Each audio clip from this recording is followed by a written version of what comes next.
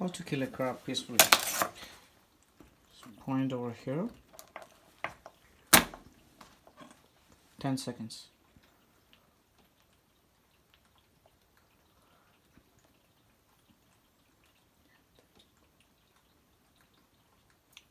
It's dead now.